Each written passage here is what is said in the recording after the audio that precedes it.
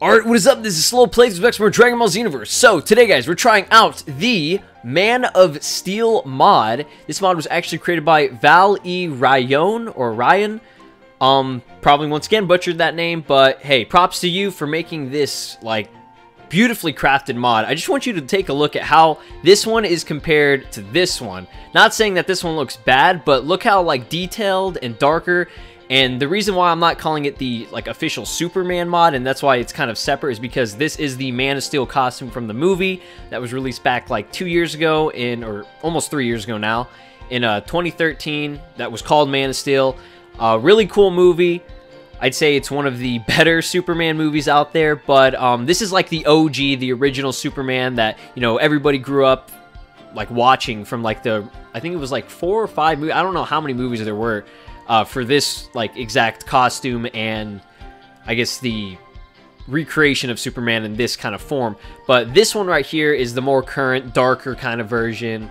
Uh, in the fact of it being a little bit more serious, I guess. But yeah, this is a crazy looking mod over Super 17. I feel like that was a great pick to put this mod on, like just this kind of style because, you know, he's got the same sort of eyes, his build quality and how tall he is, you know, like compared to this one. The, this one, he's like kind of small. he's a little bit smaller.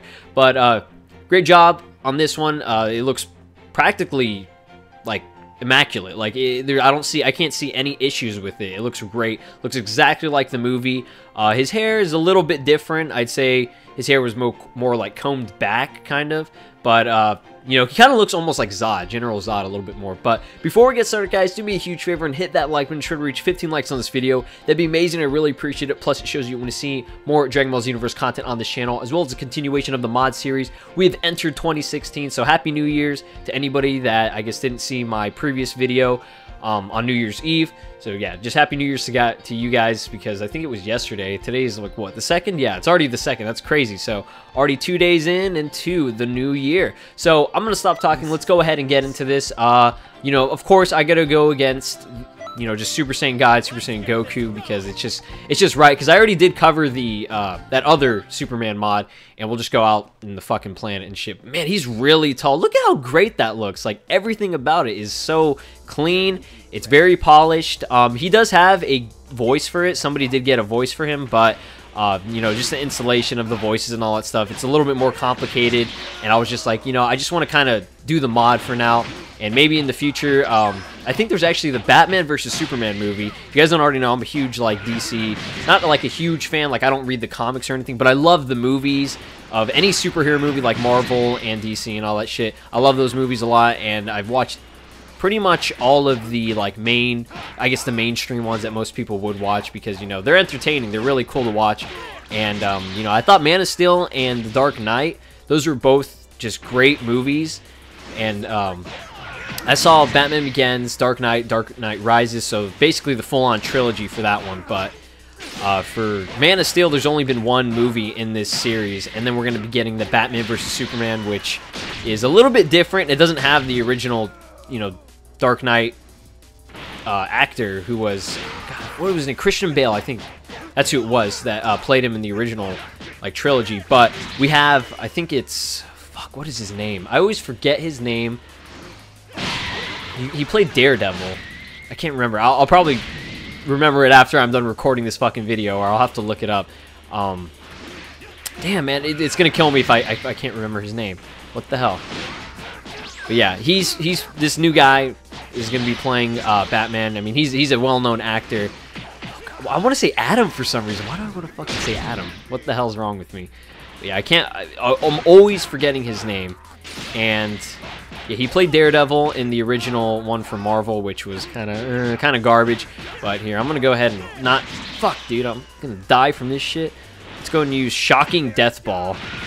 Whoa, man, it's a little bit too dark for freaking Superman. Shit, dude.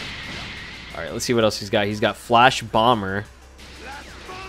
That looks stupid. What the hell? Hyper Drain. What is Thunder Eraser? Okay, that's pretty cool looking. Drain Field. I have no idea what I'm doing. Oh my god! Jesus Christ, he's killing me. Okay, this freaking controller, man.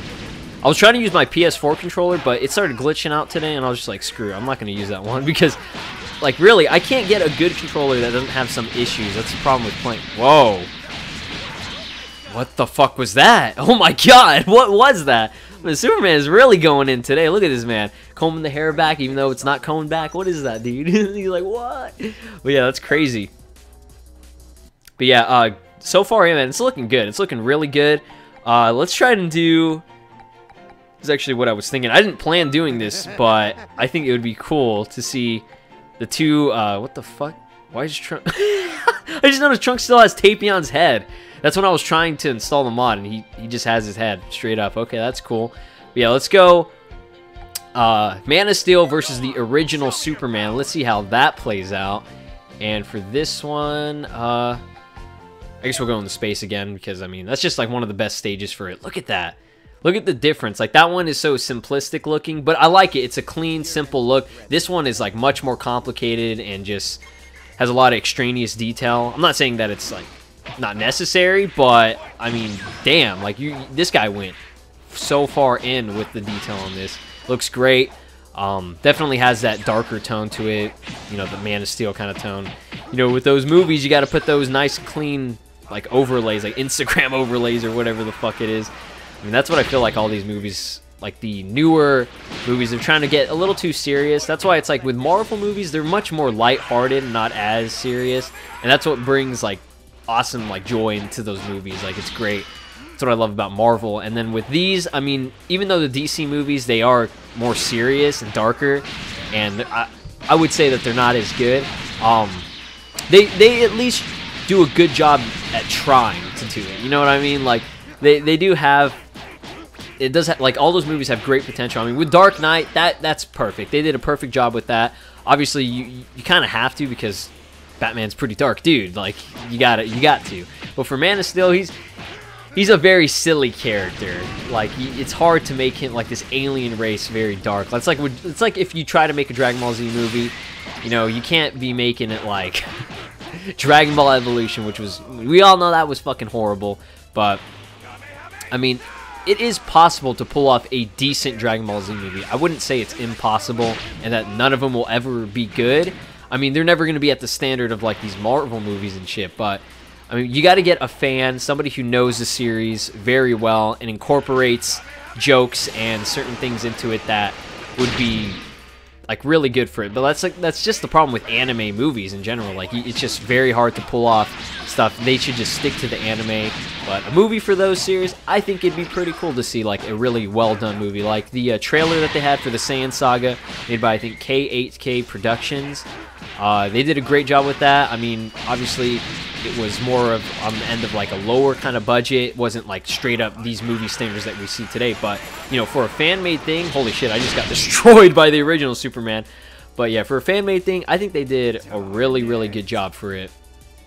And uh, you know, I'd say if they kept it up and they kept working on it and you know honing their skills with editing and all that, they'd probably pull it off and make something really good. And I think they're working on like a new series and stuff. But all these fan-made series that they're making, like Light of Hope and all that stuff, I love seeing that because it's the fans that are making it, and they obviously have a better understanding of the series. And I, I would say they need to keep at it because they're doing a great job, especially Light of Hope. I'm loving that shit so far. It's great. So, um, yeah, so far I'd say, yeah, great mod, excellent shit, you know, good stuff to this man. Uh, this one was also a really good one that I covered whenever I was trying to do uh, Superman versus Super Saiyan God, Super Saiyan Goku. But this one was just a little thing to throw in there just to show off how like complicated and complex, you know, you can make these mods. Like this looks identical. The costume is on point. This guy did a fantastic job. I love how he put it over Super 17. So kudos to you, dude. I'll definitely put all his um, links and everything in the description. I think it's only just that his one page on xenoversemods.com. Uh, but if he does have a channel, I'll definitely put it in there. But for now, that's going to do it. Thank you all so much for watching. I uh, hope you guys had a great 2015, and now we're entering this new year, so get hyped for more content. I'm going to be trying to put out uh, as many videos as I can before I go back to school, which is in like two weeks or whatever. But yeah, thanks again, and I'll talk to you guys in the next one. Take care.